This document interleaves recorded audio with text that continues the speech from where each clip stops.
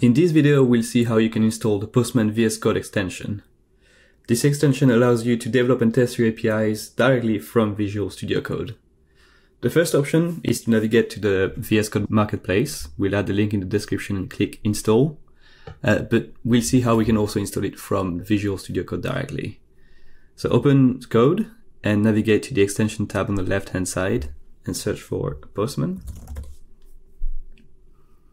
Open the first one, it will be the one that shows that it is verified as postman.com and click install. Once the extension is installed, you can see a new option here on, the, uh, on your left sidebar.